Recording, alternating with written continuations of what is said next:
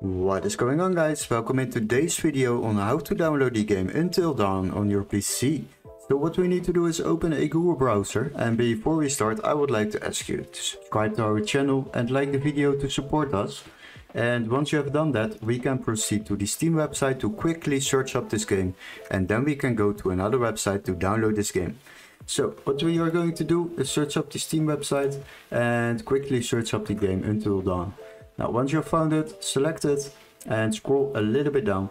And as you can see, this game is very expensive on Steam. It is 69 euros and 99 cents. But don't worry, we got a little workaround. What you need to do is go to the video description and click on the link where it says find game here and you will be redirected to this webpage.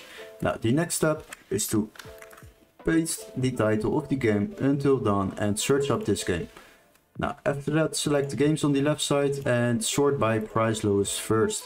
Now scroll a little bit down till you will find a PC version which can be activated in our country.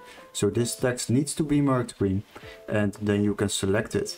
Now once you have selected this game, you will find out that this game is already available for just 57 euros and 5 cents compared to the Steam price of 69 euros and 99 cents.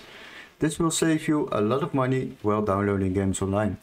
Now the next step is to purchase this game through this website and you will receive an email confirmation with all the steps to follow, including a activation key for Steam or a completely new legit Steam account to download this game on your PC, but much cheaper.